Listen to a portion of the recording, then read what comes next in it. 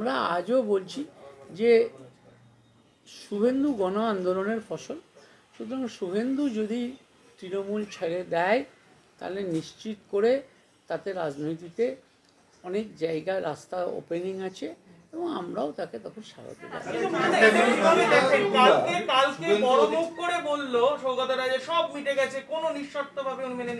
সকালে করে বলছে সঙ্গে কাজ করাই সম্ভব নয়। আমি জানি না কী আলোচনা হয়েছে কেন এই কথা বলছে এসব আমি জানি না। বয়স হয়ে গেলে আমাদের তো বয়স হচ্ছে বয়স অনেক সময় ভুলে যায়।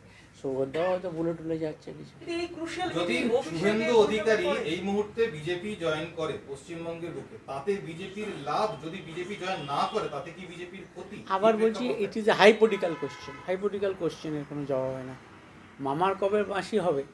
তা মামার যদি গোপ হবে তবে তাকে বাঁশি হবে। সেটা তার জবাব হবে তখনই যদি দেখা যায় সত্যি হচ্ছে। একটা প্রশ্ন। বলছি এই যে শুভেন্দুকে নিয়ে এই যে তৃণমূল কংগ্রেসে যে এই যে ঘোলাটা হচ্ছে সেইখানে আপনি একটা অভিজ্ঞ রাজনীতিবিদ এবং আপনি দীর্ঘদিন শুভেন্দুর সাথে নন্দীগ্রাম থেকে শুরু করে বহু আন্দোলনের সাথী হয়েছে তো সেইখানে দাঁড়িয়ে আপনি কি মনে করছেন যে তৃণমূল কংগ্রেসের এটা কতটা মানে একটা ক্ষতির জায়গায় যাচ্ছে? না দেখো তৃণমূল কংগ্রেস বলে এখন আর কিছু নাই। যে যার নিজের মতন হাঁটো। অর্থাৎ স্বাভাবিকভাবেই এই অবস্থায় দাঁড়িয়ে শুভেন্দু, আমি বলেছি, আমি সিদ্ধান্ত নিলাম। মানে মন্ত্রিসভা থেকে পদত্যাগ করেছি। এর পরের পদত্যাগের পর আর কিছু হয়, হয়নি এখনও। কালকে হঠাৎ হই হই করে সবাই নাপিয়ে পড়ল যে সব নাকি ঠিক হয়ে গেছে। কিন্তু যা ঘটনা দেখছি তাতে ও- শুভেন্দু যে দলে আছে সেই দলেরই কিছু লোকের সাথে কথা বলেছে। সেটা নিয়ে এইভাবে এত হই হই করার কোনো কারণ ছিল না আছে বলে আমার মনে হয়। এবার তো পরিষ্কার হলো। জি, তোমরা যত জোর হা পা পাক করছ সুতরাং এটা পলিটিক্স পলিটিক্স এটা ওয়েট অ্যান্ড সি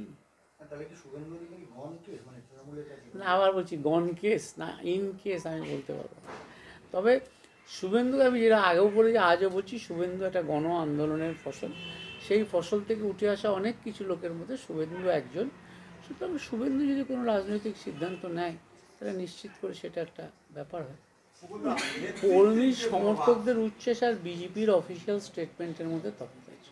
উনি তৃণমূল ছেড়ে যদি কোনো সিদ্ধান্ত নেন, আমরা নিশ্চয়ই তাকে স্বাগত জানাব।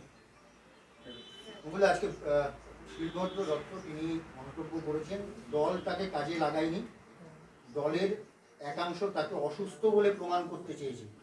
এবং শুধু তাই নয় প্রমাণ করে দল থেকে একটা আলাদা বিচ্ছিন্ন একটা জায়গা তৈরি করে দিয়েছে ওনার জন্য যেটা ওনার কাছে খুব অস্বস্তি। যার জন্য উনি নিজেকে আড়াল করে রেখেছেন নিজে দূরে সরে যাচ্ছেন। এবং এই দলের সঙ্গে তিনি কাজ করতে পারবেন না সেটা তিনি আবারও পরিষ্কার করে আজকে জানিয়েছেন? দেখুন শিলভদ্র সিদ্ধান্ত নিয়েছে সিদ্ধান্ত জানিয়েছে স্বাভাবিকভাবে দেখা যাক ওরা ওদের দলের ও সিদ্ধান্ত কি হয় দল কীভাবে রিয়াক্ট করে তারপর দেখা যাবে দাদা আজকে দিলীপ ঘোষ সকালবেলা বাঙালিদের থেকে বহিরাগত মানে যাদেরকে তৃণমূল বহিরাগত বলছে বিহারিদের কন্ট্রিবিউশন আসা সে তো রাজে- রাজেন্দ্র প্রসাদের কন্ট্রিবিউশন কেউ অস্বীকার করতে পারেন? স্বীকার করেন এটা? রাজেন্দ্র প্রসাদের কন্ট্রিবিউশন কেউ অস্বীকার করতে পারেন? জওহরলাল নেহরুর কন্ট্রিবিউশন কেউ অস্বীকার করতে পারেন? কেউ অস্বীকার করতে পারেন? বাংলার বুকে যে এদের ইন্দিরা গান্ধীর অবদানের কথা?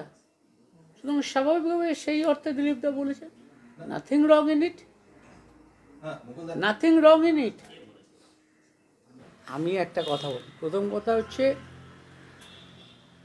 আমি শুভেন্দু এখনও কিছু বলেনি। সুতরাং সৌগতবাবু কি বললেন?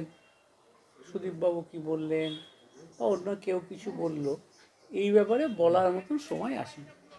দেখুন, শুভেন্দু এখনও তৃণমূলের বিধায়ক। সে দেখা করেছে তারই কলিগদের সাথে। এটা নিয়ে এত হাঁক পাক করার মতন কোনো ব্যাপার হয়েছে বলে আমার মনে হচ্ছে না। বলতে এক্ষুনি খবর পাওয়া যাচ্ছে। শুভেন্দু অধিকারী সৌগত রায়কে হোয়াটসঅ্যাপ করে জানিয়েছে আপনাদের সঙ্গে আর কাজ করা একসঙ্গে সম্ভব নয়। একসঙ্গে আপনাদের সঙ্গে কাজ করা আর যে সম্ভব নয়। বৈঠক হয়েছে সেই বৈঠক অনৈতিকভাবে আমায় ডাকা না আবার আমি বলছি শুভেন্দু কি বলেছে বা না বলেছে আমি কিচ্ছু জানি না। কিন্তু আবার বলছি শুভেন্দু এখনও তো তৃণমূলেরই বিধায়ক রে বাবা। ও তো তৃণমূল ছাড়েনি। সুতরাং সেখানে দাঁড়িয়ে আমার কোনো মতামত নেই। আমার মতামত হচ্ছে তৃণমূল থেকে ও যদি বেরিয়ে আসে তাহলে তাকে স্বাগত জানাব।